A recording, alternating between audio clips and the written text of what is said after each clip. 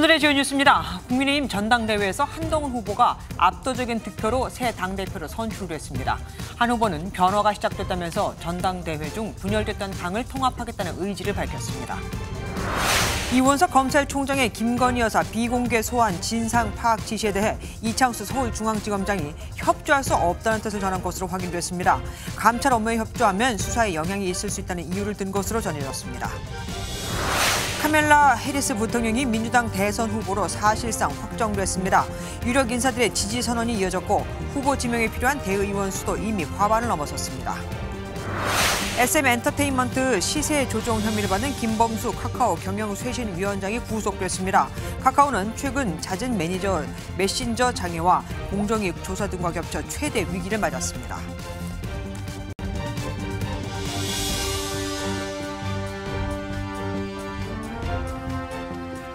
이변은 없었습니다. 국민의힘 신임 당대표에 한동훈 후보가 당선되며 한 후보 총선 참패 후 103일 만에 다시 당으로 복귀하게 됐습니다. 개표 결과 62.84%로 과반을 득표하면서 결선까지는 갈 필요도 없었죠.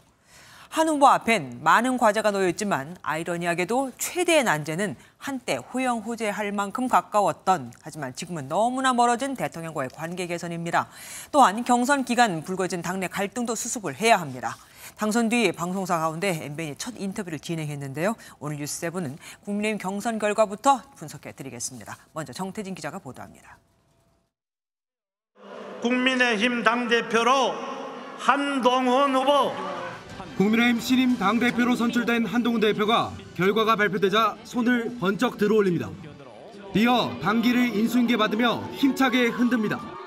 한 대표는 과반인 62.8%를 득표해 2위 원희룡 후보의 18.9%를 훌쩍 넘기면서 압도적 과반으로 결선 투표 없이 승부를 결정지었습니다. 한 대표는 수락연설에서 국민 눈높이에 맞는 새로운 변화와 대통령실과의 관계 설정, 민심을 강조했습니다. 저를 선택하신 당원 동지들이 후회하지 않을 정치, 저를 선택하지 않으신 당원 동지들도 존중하는 정치, 더 나아가 국민의 힘을 지지하지 않는 분들도 고개를 끄덕이는 정치를 하고자 합니다. 선출과 동시에 임기를 시작한 한동훈 대표는 108석 집권 여당을 이끌며 당 내용을 수습하고 2026년 지방선거와 2027년 대선을 준비해야 하는 중책을 맡게 됩니다. 한 대표는 당선 뒤 MBN과의 인터뷰에서 친한, 친윤 개파 상관없이 하나된 당을 이끌겠다고 밝혔습니다. 윤석열 정부를 성공시켜서 정권을 재창출하는 겁니다. 목표가 같은 사람들끼리 예. 어, 그 목표를 향해서 협력하고 토론하고 정답을 찾아가는 과정을 여러분께 보여드리겠습니다. 거대 야당의 유례없는 폭주를 언급한 한 대표는 민주당에 대한 대대적인 공세도 예고했습니다. 총선 참패의 책임을 지고 비대위원장직에서 물러났던 한동훈 후보. 100일 만에 당원과 국민의 선택을 받은 선출직 당대표로 다시 당권을 잡게 됐습니다. 엠벤 뉴스 정태진입니다. 당내 주류인 친윤계의 지지와 원팀을 강조한 원희룡 후보. 하지만 결과는 어대한이었죠. 앞으로 당정 관계는 어떻게 될까요? 일단은 최상병 특검법이 첫 시험대가 될 것으로 보입니다. 야당의 특검 공세를 어떻게 방어해낼까도 관건이고요. 김도현 기자입니다. 국민의힘 전당대회는 자폭 전당대회란 오명까지 들을 만큼 치열했습니다. 주류 친윤계의 지원을 받는 원희룡 후보는 한 후보의 사천 의혹까지 제기하며 맹공을 펼쳤습니다. 제가 많은 공천 작업을 해봤지만 이런 식으로 이루어진 공천 저는 본 적이 없습니다. 여기에 총선 당시 김건희 여사와 한동훈 비상대책위원장과의 문자 내용이 공개되며 총선 패배 책임론까지 불거졌습니다. 그래도 당심은 한동훈이었습니다. 한 신임 당대표가 그간 3자 추천 최해병 특검법을 주장해온 만큼 향후 대통령실과 불편한 동행은 불가피할 것으로 보입니다. 제3자 특검에 대해서 대법원장이 추천하는 그런 부분에 대해서 저는 이런 논쟁은 충분히 가능하다고 봐요. 특히 당내 친윤계가 다수 포진하고 있는 만큼 당내 갈등이 계속 불거질 것이란 우려가 나오고 있습니다. 한 여권 관계자는 당정대가 똘똘 뭉쳐도 모자란 상황이라며 한동훈 신임 당대표가 야당의 탄핵 공세를 막아내려면 대통령실과 화합하는 모습을 보여줘야 한다고 밝혔습니다. 친윤계와 앙금이 해결되지 않으면 당정 간 단일 대오 분위기를 유지하는 건 쉽지 않을 것이란 우려가 나오고 있습니다. MBN 뉴스 김도형입니다. 이번 전당대회 도전장을 낸 후보들은 모두 잠재적 대권 주자로 꼽혔다는 점에서 이번 결과에 따라 정치적 명암도 극명하게 갈리게 됐습니다. 총선에 이어 연거푸 고배를 마신 원희룡 후보는 대권 가도에 비상등이 켜진 반면 나경원, 윤상현 후보는 존재감을 드러냈다는 평가입니다. 민지숙 기자입니다. 2위인 원희룡 후보는 3위인 나경원 후보와 4%포인트밖에 차이 나지 않았습니다. 개표 결과가 나온 직후 원 후보는 SNS에 짧은 소회를 남겼습니다. 자신이 부족한 탓에 당원들의 마음을 얻지 못했지만 앞으로도 특검과 탄핵을 막기 위해 모든 역할을 하겠다고 적었습니다. 지난 총선에서 이재명 당시 민주당 대표를 상대했다 낙선한 원 후보는 연이은 패배로 대권 가도에 경고등이 켜졌다는 평가가 나옵니다. 선거 무패 신화와 희생의 아이콘이라는 긍정적인 이미지보다 전당대회 과정에 네거티브 공방으로 부정적인 이미지만 남았다는 겁니다. 반면 일찌감치 대선 불출마를 선언하며 당의 재건을 약속한 나경원 후보는 원내에서의 존재감을 드러냈습니다. 새로운 지도부에 우리가 함께 힘을 합쳐서 정말 우리 당이 어, 내외의 위기를 모두 극복해서 하나로 힘차게 가야 될 때라고 생각을 합니다. 4명의 후보 가운데 인지도가 가장 낮았던 윤상현 후보의 경우 전국적으로 이름을 알린 수확이 있었습니다. 이번 전당대회로 정치적 유불리가 엇갈린 3명의 후보자들이 한동훈 신임 당대표와 힘을 합칠 수 있을지 관심입니다. MBN 뉴스 민지숙입니다. 윤석열 대통령은 지난해에 이어 2년 연속 국민의힘 전당대회에 참석했습니다. 그런데 한동훈 후보 들으라는 걸까요? 윤 대통령은 축사에서 우리는 한 배를 탄 운명 공동체라며 당정 원팀을 강조했습니다. 전정인 기자입니다. 윤석열 대통령이 국민의힘 전당대회장에 입장하자 당원들의 박수와 환호가 쏟아집니다. 윤 대통령은 손을 흔들고 주먹을 불끈 쥐어 화답합니다.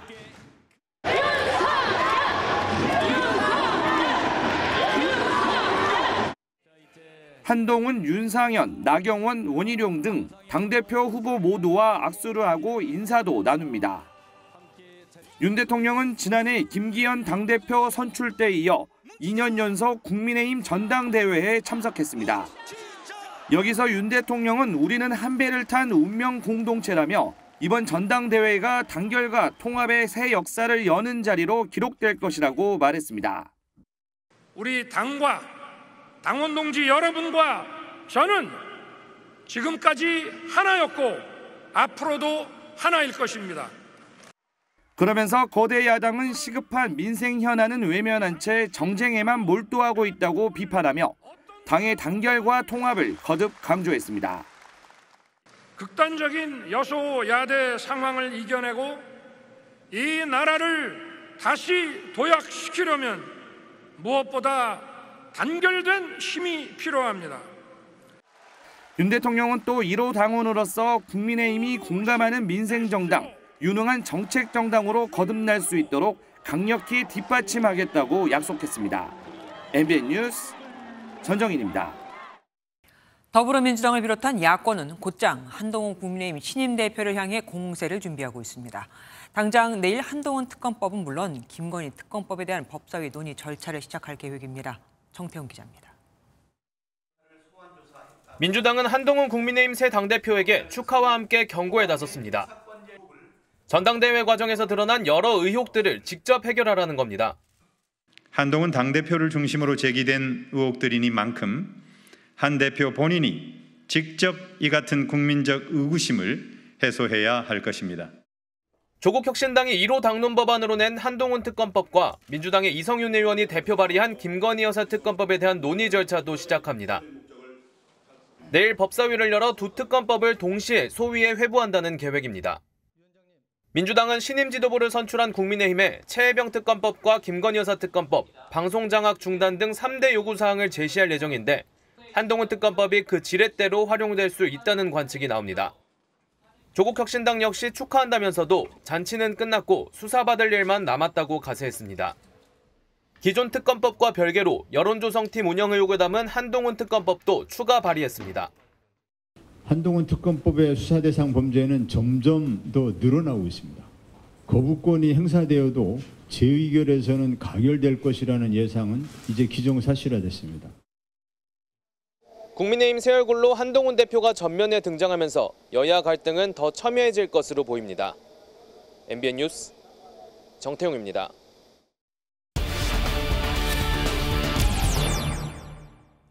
국회 출입하는 김지영 기자와 전당대회 결과 더 자세히 분석해 보겠습니다. 어서 오십시오. 결국 한동훈 후보가 뭐 신임 당대표가 됐습니다.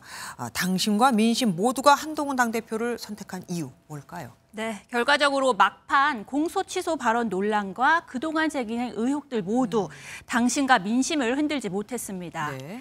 무엇보다 총선 참패 후 정부와 당의 위기 상황이 표심에 가장 큰 영향을 미쳤다 분석입니다. 이대로는 당장 10월 보궐선거와 2026년 6월 지방선거, 2027년 대선도 어렵다는 위기감이 팽배한 겁니다. TK 한 의원은 정권 창출에 기여해온 TK 민심은 오히려 냉정하다며 당의 변화와 윤정부의 성공 그리고 민주당에 맞설 적임자를 선택한 것이라고 말했습니다. 음, 이제 뭐 당권은 잡았습니다. 하지만 당 대표가 된 이후가 더 문제일 거라는 얘기가 참 많았잖아요. 나경원 원희룡 후보와 감정이 상할 정도의 설전도 오갔고요.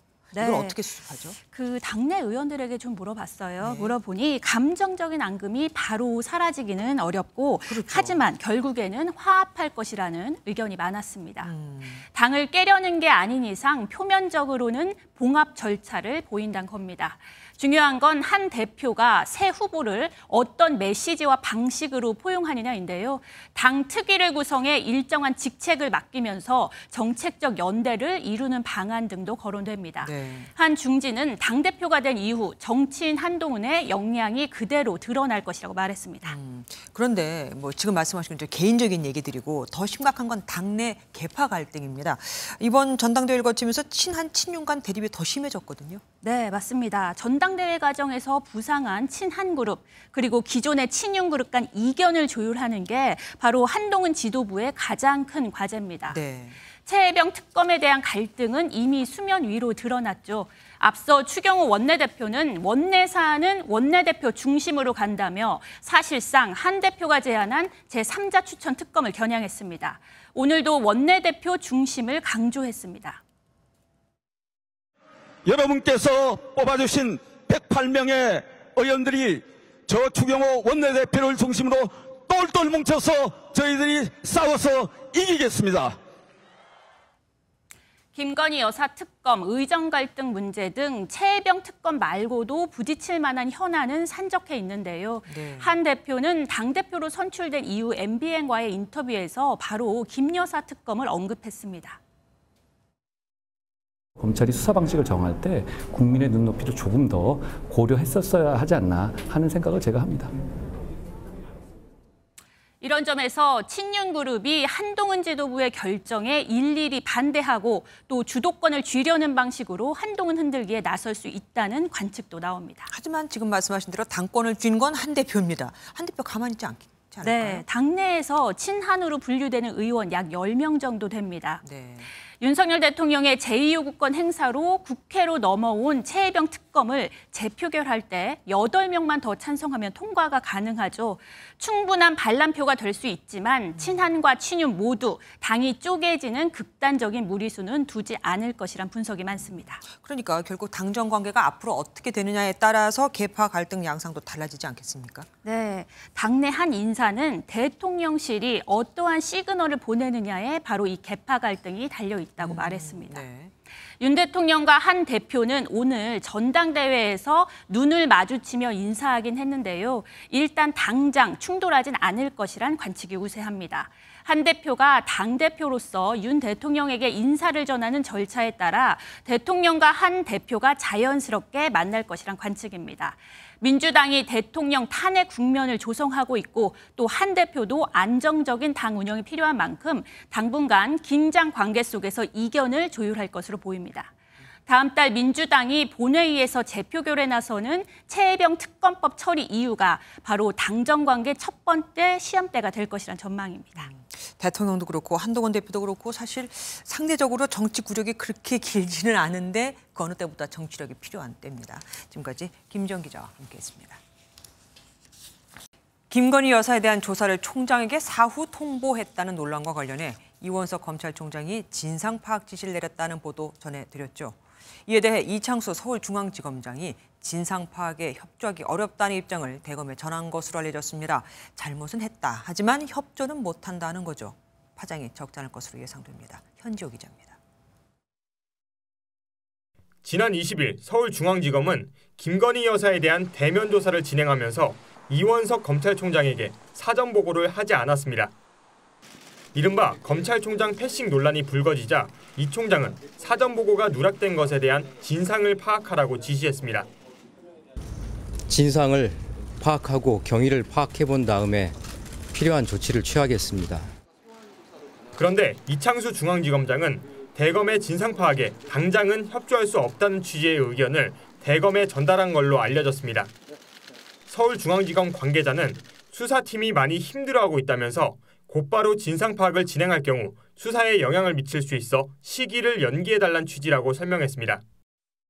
실제로 이 총장의 진상 파악 지시가 내려진 직후 명품백 수사를 맡았던 한 검사가 사표를 제출하기도 했습니다. 다만 검찰에서는 해당 검사에 대한 사표 처리는 보류 중인 걸로 전해졌습니다. 중앙지검의 진상 파악 비협조와 관련해 대검찰청은 의견을 교환하는 과정이라며 진상 파악은 계속하고 있다고 밝혔습니다. 총장 패싱 논란에 대한 진상 파악 단계에서부터 이 검사장이 반발하면서 중앙지검과 대검 사이 갈등 양상은 더욱 심해질 걸로 보입니다. MBN 뉴스 현주호입니다. 이원석 검찰총장이 이번 주에 있을 탄핵 청문회 증인으로 출석하지 않겠다는 입장을 밝혔습니다. 김건희 여사 수사에 영향을 미칠 수 있다는 등의 이유를 밝혔는데 이 청문회에 나가서 어떤 방식으로 답을 하든 봉합해야 할 검찰 내 갈등이 더 악화할 수 있다는 우려가 크기 때문일 겁니다. 이혁재 기자입니다. 국회 법제사법위원회는 오는 26일 예정된 윤석열 대통령 탄핵소추안 발의 요청 청원 청문회에 이원석 검찰총장이 증인으로 출석하라고 요구했습니다. 하지만 이 총장은 불출석하겠다는 공식 입장을 냈습니다. 청문회에서 야당을 중심으로 김건희 여사 수사 등에 대한 질의가 준비되고 있는 만큼 중립적이고 공정하게 진행되어야 할 수사에 부당한 영향을 주게 된다며 출석하지 않겠다고 밝혔습니다. 검사 탄핵 이슈 등 야당과 검찰이 극한의 대치를 벌이는 국면에서 일방적인 야당의 공격을 감내해야 하는 상황 등이 영향을 미친 것으로 보입니다. 이 총장은 출근길에 기자들을 만나 김 여사 조사를 보고받지 못한 총장 패싱 논란에 대해 질문을 받았지만 즉답을 피했습니다.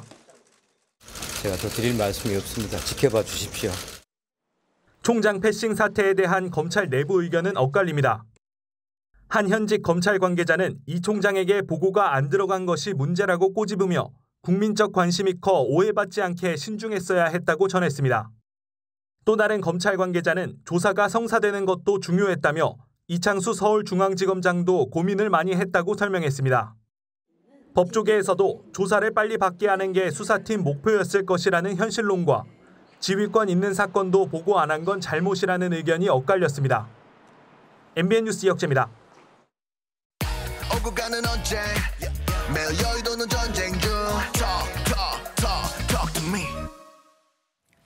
정치 톡톡 시간입니다. 국회팀 표선호 기자와 함께합니다.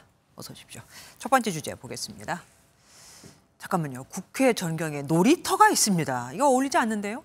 국회 국민청원 이야기인데요. 사상 초유의 대통령 탄핵 청원 청문회 시작이 국회 국민동의 청원이었죠. 아, 그렇죠. 정청래 법사위원장 한결같이 법대로를 강조하고 있는데요. 이 말이 부메랑이 된 걸까요? 대통령 탄핵 반대 청원에 이어 정청래 법사위원장 해임, 민주당 해산 촉구 등 네, 네 건의 청원이 순식간에 상임위 회부 기준선인 5만 명을 넘었습니다. 아이고.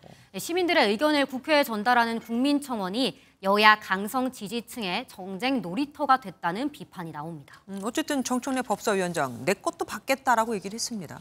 그런데 그러면서 한 말이 있습니다. 김건희 여사도 오는 금요일 2차 탄핵 청원 청문회에 나오라는 겁니다. 음.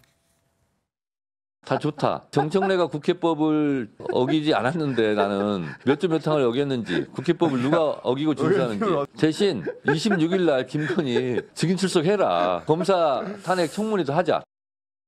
야, 강경 모드는 뭐 여전합니다. 국민의힘 가만히 있지 않았겠죠? 어젠 정 위원장에게 자신을 돌아보라고 음, 했죠. 네. 정 위원장 거울 셀카로 응수했고요. 예, 예. 오늘은 코미디언이라는 말로 정 위원장을 비판했습니다. 코미디언을 하셨으면 참 잘하셨을 것 같습니다. 국회를 극단주의자들의 놀이터로 만들 작정을 한 모양입니다.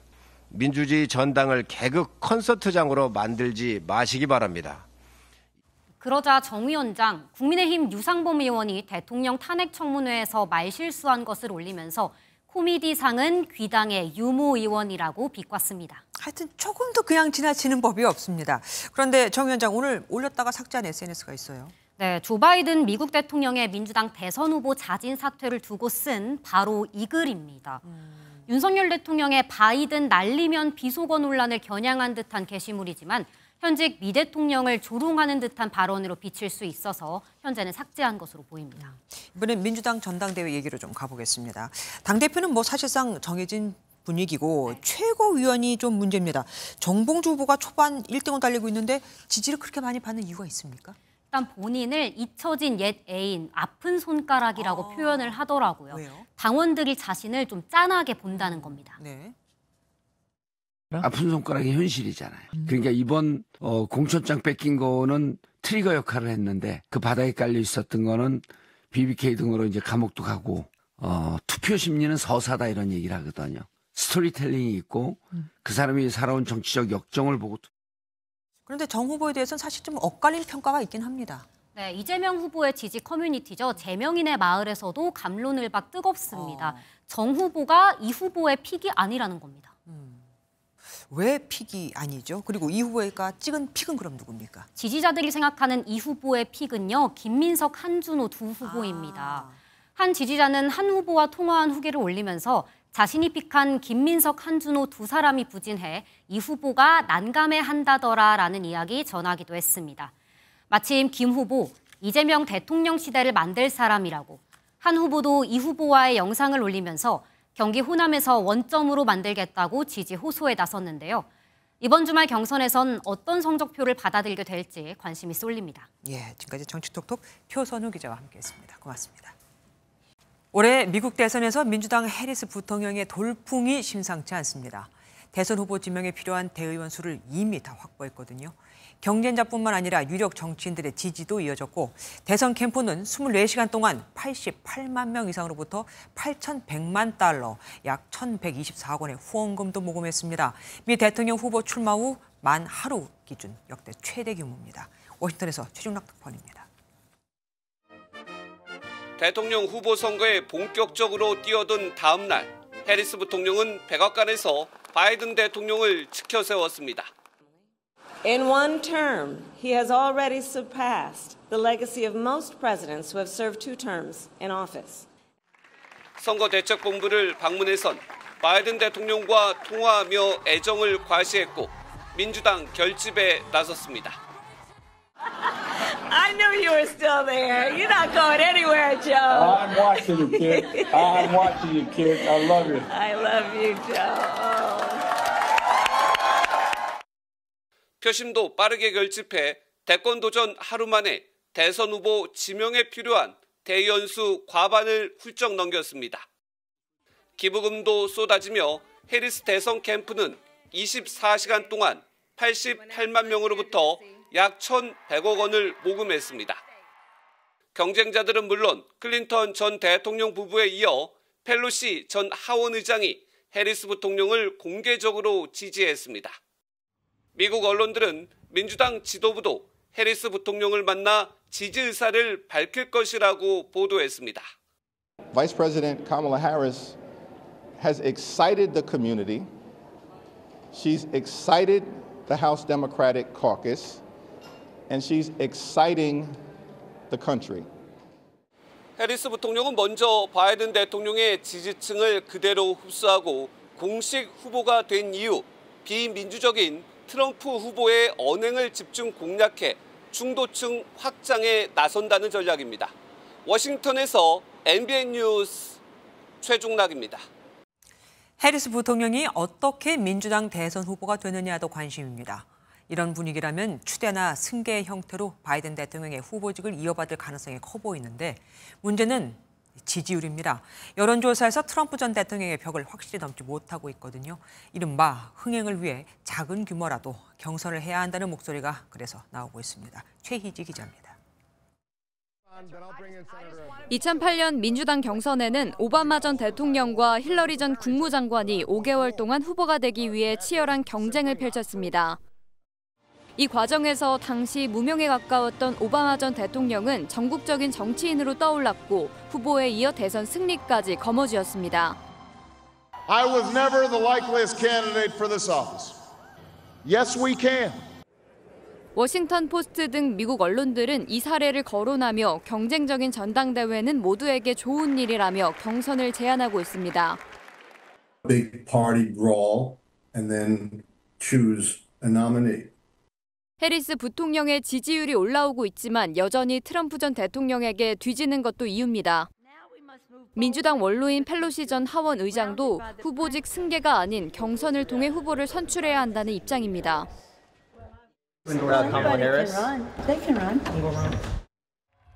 해리스 지지 선언을 하지 않고 있는 오바마 전 대통령 역시 자칫 해리스의 대관식으로 비칠까 우려하고 있다는 분석이 나옵니다. 다만 민주당 내에서 별다른 후보 등록 움직임이 없다는 점에서 다음 달 초 온라인 투표를 통해 해리스가 공식 후보로 선출될 가능성이 크다는 전망입니다. MBN 뉴스 최희지입니다. 트럼프 같은 범죄자를 잘 안다. 과거 검찰총장이었던 해리스 부통령은 중범죄자 대 검사로 트럼프 전 대통령과 각을 세우고 있습니다. 또한 낙태를 반대하는 트럼프에 맞서 낙태권 문제도 꺼내들었습니다. 바이든 대통령은 카톨릭 신자로 낙태권 옹호에 미온적이었거든요. 여성 유권자들의 표심을 흔들려는 겁니다. 바이든 대통령이 고령 논란으로 수세에 몰렸던 것과는 완전히 다른 모습이죠. 윤지원 기자입니다. 카멜라 해리스 미국 부통령은 첫 공개 연설에서부터 트럼프 전 대통령을 성범죄자, 사기꾼에 빗대며 공격에 나섰습니다. Predators who abused women. Fraudsters who ripped off consumers. Cheaters who broke the rules for their own gain. So hear me when I say, I know Donald Trump's type. 검사 출신의 해리스가 네 차례 형사 기소된 트럼프를 상대로 검사 대 중범죄자 프레임을 부각하려는 의도로 보입니다. 해리스 부통령은 낙태권 문제도 전면에 내세웠습니다. If Trump gets the chance, he will sign a national abortion ban to outlaw abortion in every single state, but we 트럼프 전 대통령은 지난 대선에서도 낙태 여성을 처벌해야 한다고 말해 곤욕을 치른 바 있습니다. Believe in punishment for abortion, yes or no, as a principle? Uh, the answer is that there has to be some form of punishment. For the woman? Yeah, there has to be some. 트럼프는 이런 공격에는 직접 대응하지 않고 돌처럼 멍청하다며 해리스에 대한 공격 수위를 높였습니다. 트럼프 지지단체도 152억 원을 들여 해리스를 비판하는 광고를 내보내며 본격적인 대응에 나섰습니다. Look what she got done. A border invasion, runaway inflation, the American dream dead. 트럼프와 해리스로 대진표가 사실상 확정되면서 100여일 남은 미 대선의 주도권을 잡기 위한 치열한 혈투가 시작됐습니다. MBN 뉴스 윤지원입니다. 어제 하반기 전공의 모집에 반발해 일부 의대 교수들이 교육 거부 등을 선언한 내용 보도해 드렸죠. 정부가 이른바 수련 보이콧 움직임에 대해 비판의 목소리를 냈습니다. 환자 단체도 여기 합세했습니다. 전남주 기자입니다. 하반기 전공의 모집 일정이 시작됐지만 의대 교수들은 충원된 전공의들을 제자로 인정하지 않겠다고 선언하는 등 보이콧 움직임을 보이고 있습니다. 이를 두고 정부는 강한 비판에 나섰습니다. 최근 일부 의대 교수님들은 하반기에 모집될 전공의의 교육과 지도를 거부하는 수련 보이콧 의사를 밝혔습니다. 환자의 불안과 불편을 외면한 것 같아 매우 안타깝습니다. 또 지방 전공의들도 받지 않겠다는 교수들의 움직임에 대해 정부는 헌법적, 인권적 가치에 반한다고 날을 세웠습니다. 출신 학교나 출신 병원으로 어, 제자들을 차별하겠다는 성명은 의학 교육을 책임지고 있는 어, 교육자로서 온당한 태도가 아니며 어, 헌법적으로나 어, 인권적 가치에도 반한다고 생각합니다. 환자 단체도 논평을 내고 국민의 치료권을 방해하는 행동은 자랑스러운 학풍이 아니라 모렴치하고 반인륜적 학풍이라며 전공의 모집 보이콧 철회를 촉구했습니다. 하지만 전공의 모집을 수용할 수 없다는 교수들의 선언은 오늘도 이어졌습니다. 서울대 등 6개 의대 교수 비대위는 공동 입장문을 내고 복지부의 지도에 따라 진행되는 하반기 전공의 모집에 동의하기 어렵다고 밝혔습니다.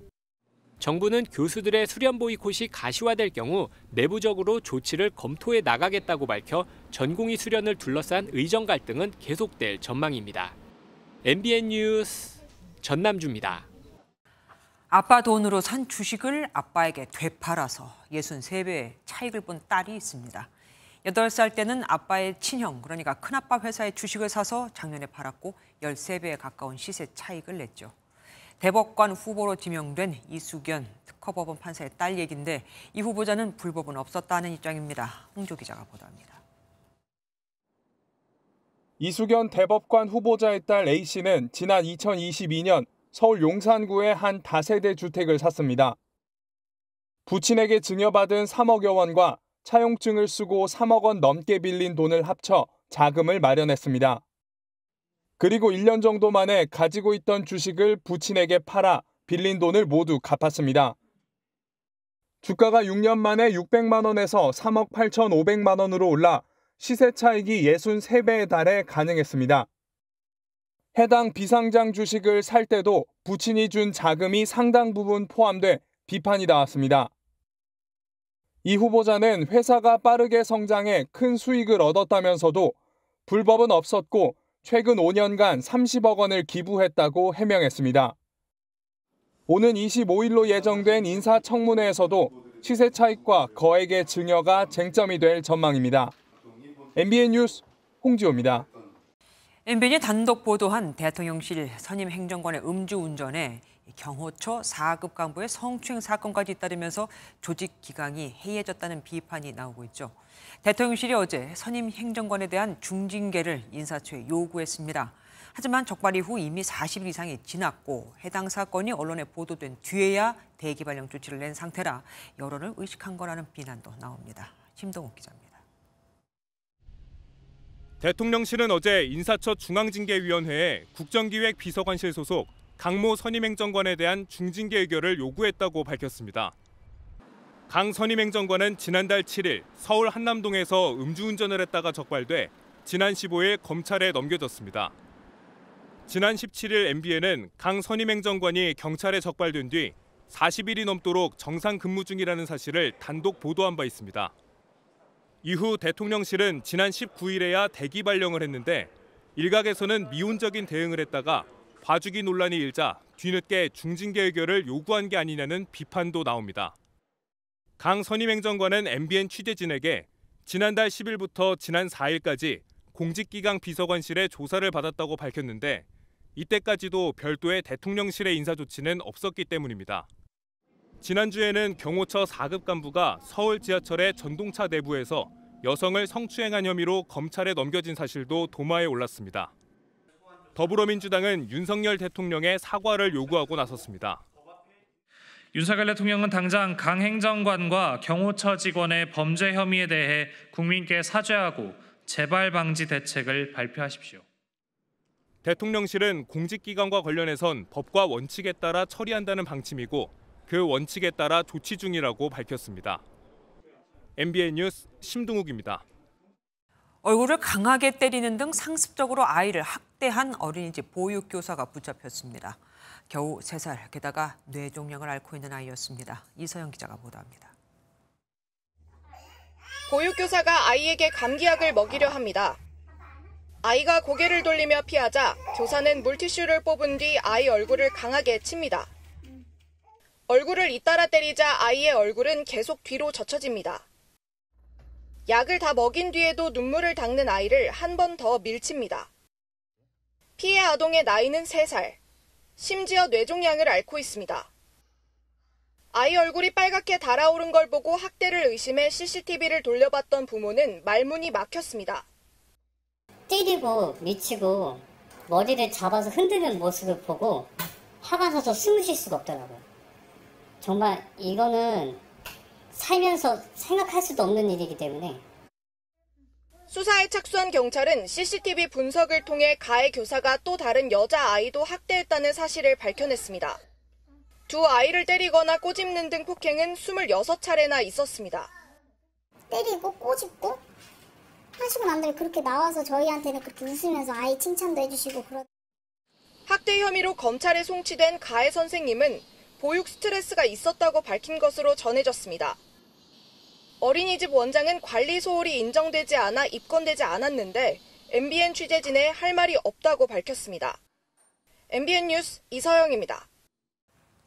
서울 강남 주택가에서 일명 던지기 수법으로 마약을 유통한 20대가 구청에서 CCTV 화상 순찰을 하던 경찰관에게 꼬리를 잡혔습니다.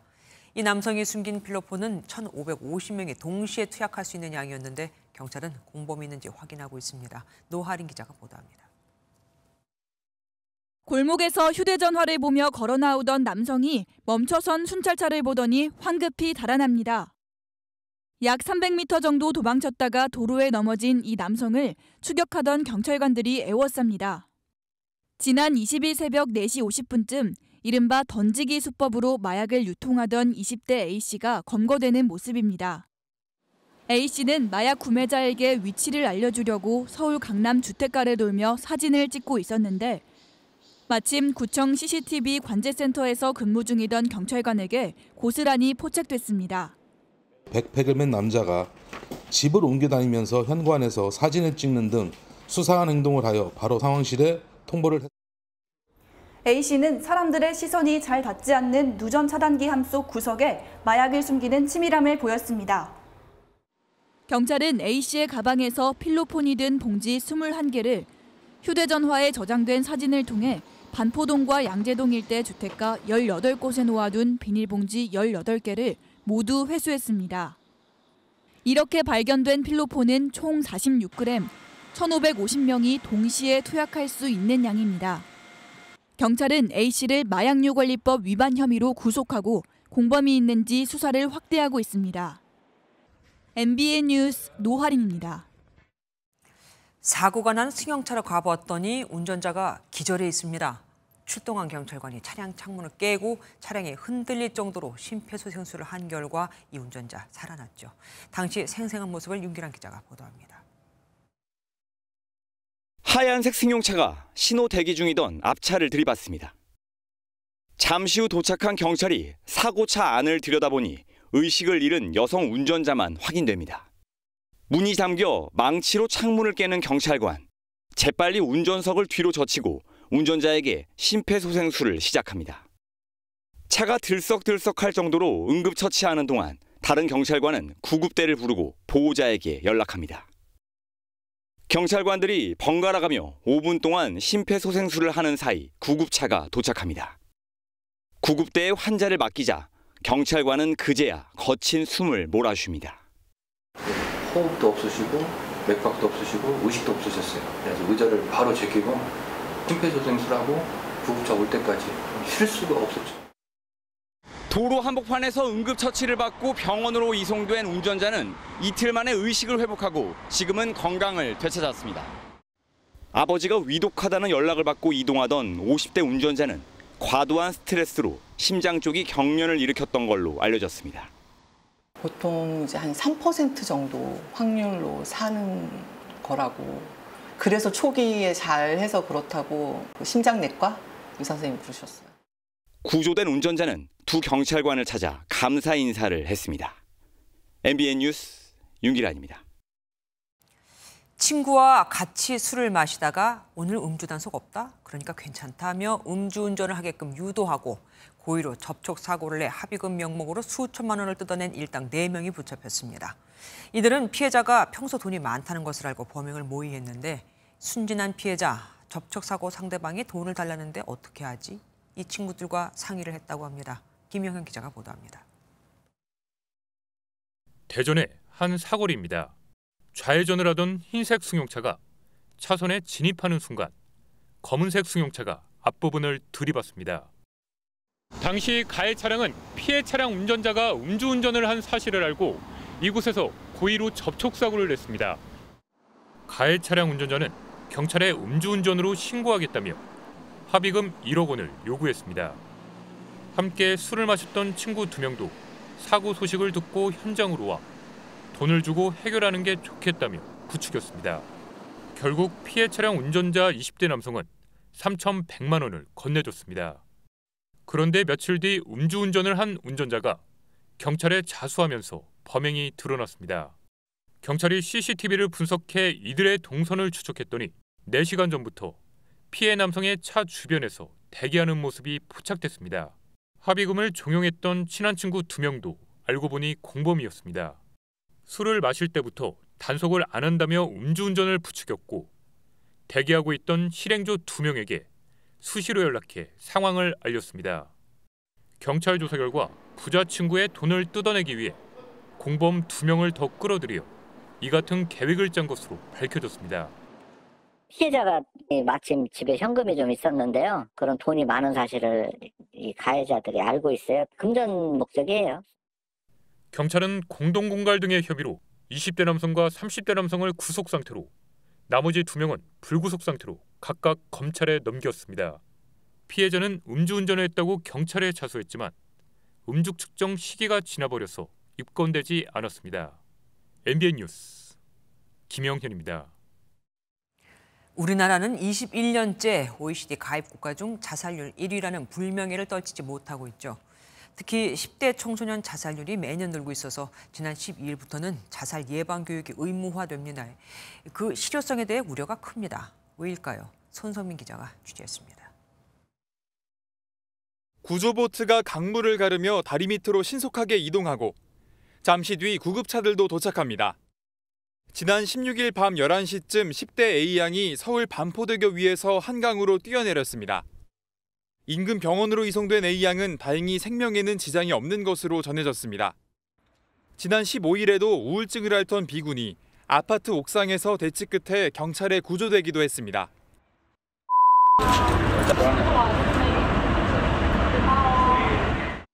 지난해 10대 청소년 3만여 명 중 4천 명 이상이 자살을 시도했던 것으로 나타났는데요. 정신적 문제나 대인관계 등이 주된 이유였습니다. 이에 지난 12일부터 전국 초중고교에서 권고사항이던 자살 예방 교육이 의무 교육으로 바뀌었습니다. 하지만 이 과정에서 온라인 교육이 허용되면서 학생들이 높은 집중력을 유지할 수 있는 대면 교육의 비중은 현저히 떨어질 수 있다는 우려가 계속되고 있습니다. 또 예방 교육 내용들도 연령별, 성별 등에 따라 더욱 세분화할 필요가 있다는 지적입니다. 또 연령에 맞는 적합한 접근이 필요하고요. 특히 어릴수록 어, 스스로 도움을 요청할 수 있는 여러 방법들을 만들어주는 교육이 도움이 된다고. 21년째 OECD 회원국 중 자살률 1위라는 오명을 싣기 위해서라도 보다 체계적인 노력이 필요한 시점입니다. MBN 뉴스 손성민입니다. 몇 년 전 전 세계가 미투 고발로 뜨거웠을 때도 중국은 조용했습니다. 미투 고발이 올라올 때마다 중국 당국이 바로바로 삭제시키며 오히려 국가 전복 세력으로 몰아 처벌을 했었거든요. 그런데 어쩐 일일까요? 이번엔 미투 고발에 명문대 교수가 하루 만에 해고를 당했습니다. 베이징에서 윤석정 특파원입니다. 자신을 인민대 박사과정 학생이라고 밝힌 한 여성이 SNS에 1시간짜리 영상을 올려 지도 교수의 성폭력 사실을 폭로했습니다. 我实名举报我的导师，人大文学院原党委书记兼副院长博导王 性骚扰且强制猥亵我，并要求与我发生性关系。 이 여성은 해당 교수에게 지속적인 성적 괴롭힘을 당했고 성적 요구를 거부하자 박사학위 취득을 막겠다는 협박까지 당했다고 주장했습니다. 그러면서 교수와 나눴던 문자 메시지와 한 남성이 강제로 입을 맞추려 하자 여성이 저항하는 내용이 담긴 녹음 파일도 공개했습니다.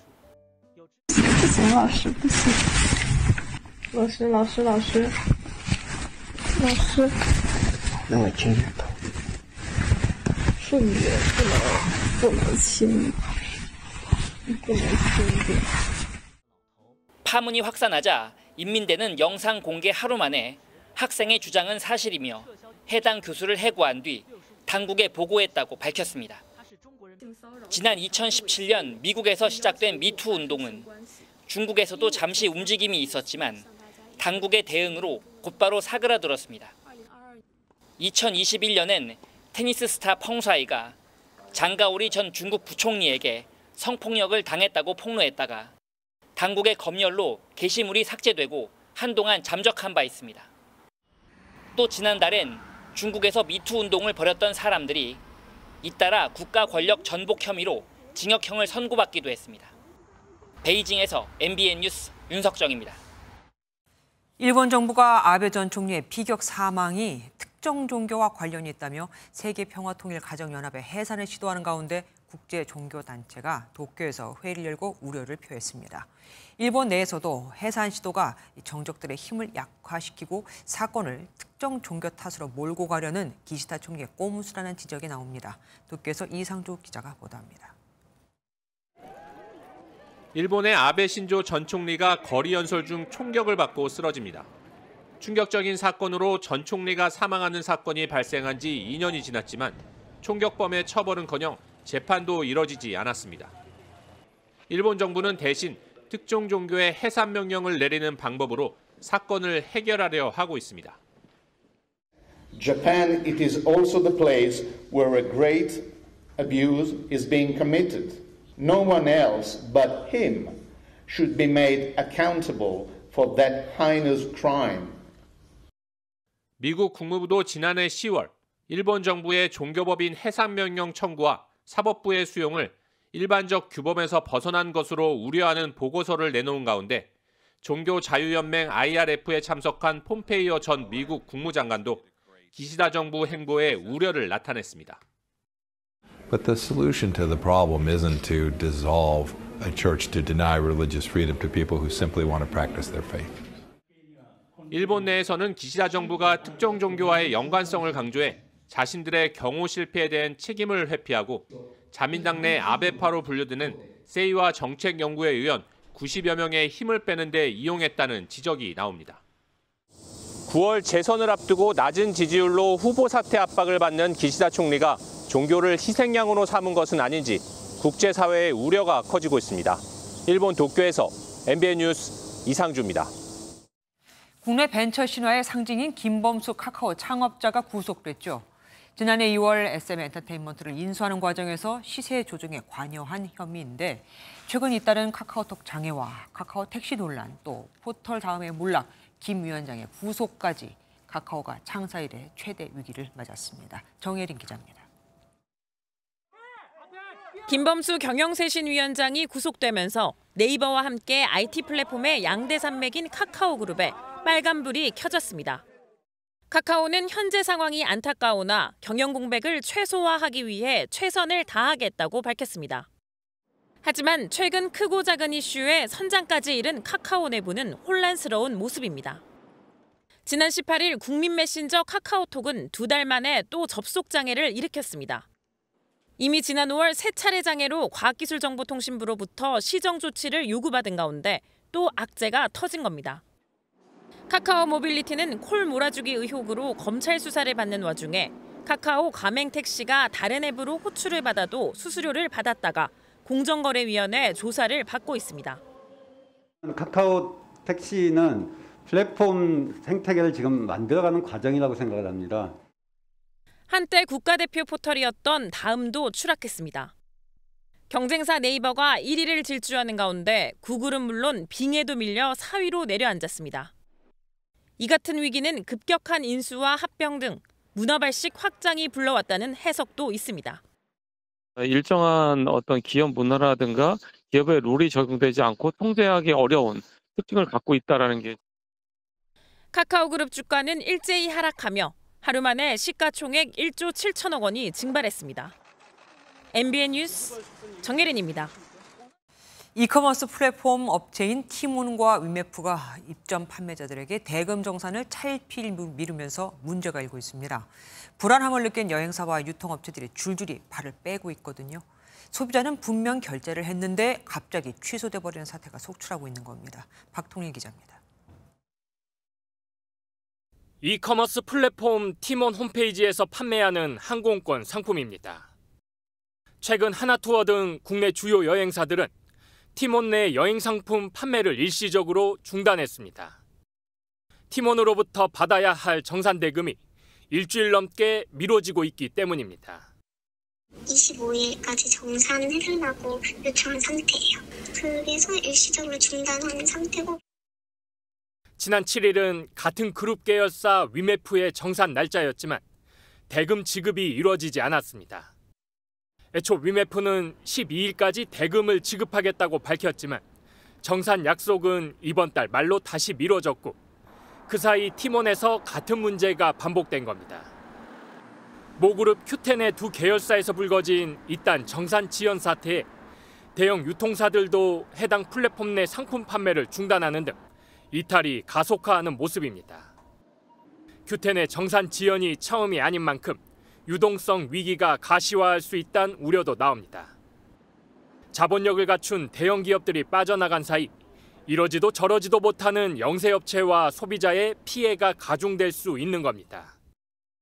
자본력이라든지 어떤 인적 자원이라든지 네트워크 등이 부족하기 때문에 좀 그런 지금 이런 사람들 대처 능력이 상대적으로 부족해서 좀 큐텐은 다음 달까지 새로운 정산 시스템을 도입해 문제를 해결하겠다는 입장이지만 입점 판매자들과 소비자 우려를 잠재우기엔 제한적이란 지적도 나옵니다.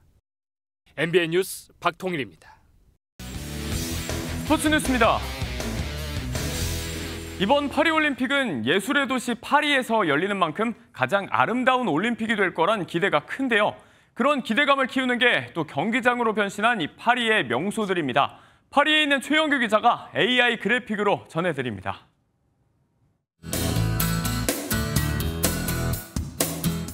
파리 시내 한가운데를 가로지르며 아름답게 빛내주는 파리의 상징, 바로 센강입니다.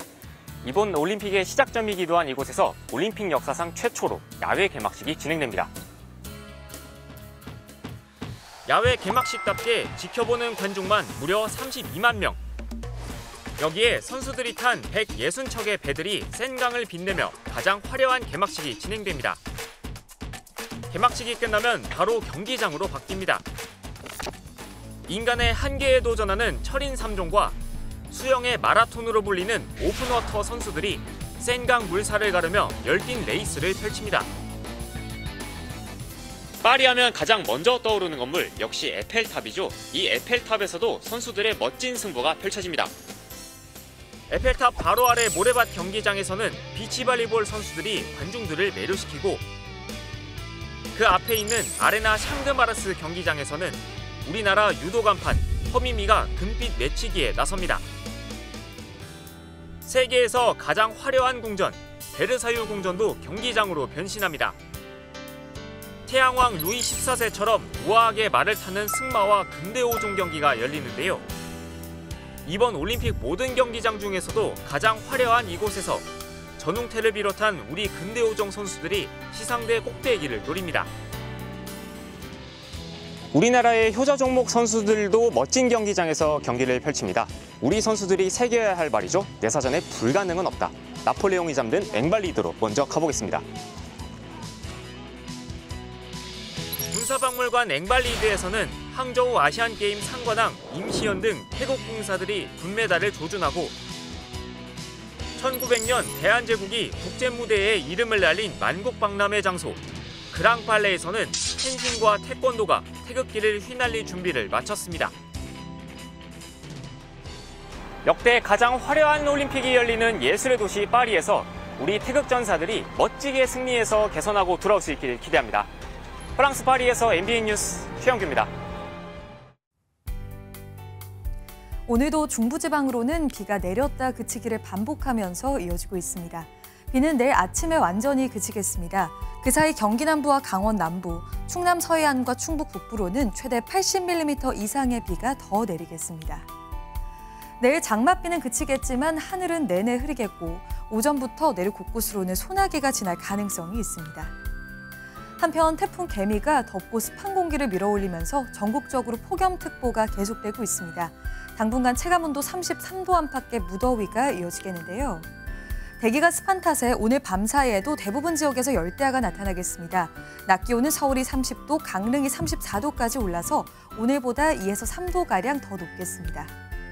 남부지방도 폭염 경보가 발효 중인 광주는 33도, 대구는 34도까지 지속했고요. 습도가 높아서 체감하는 더위는 이보다 심하겠습니다. 오는 주말까지 장맛비는 쉬어가겠지만 전국적으로 소나기가 자주 내릴 전망입니다. 내셨습니다.